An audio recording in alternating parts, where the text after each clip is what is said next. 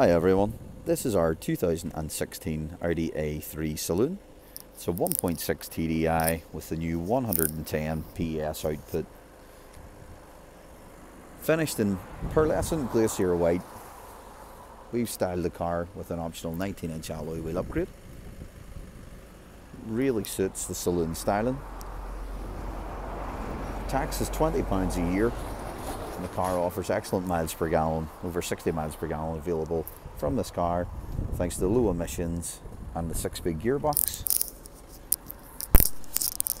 Once you're inside, you get this nice leather bound sport steering wheel with multifunction controls, sport seats, they're adjustable on the bottom. You get a media system built in here Bluetooth media player. You've got plug-in device there as well. You've got sat nav enabled with this one. DAB digital radio.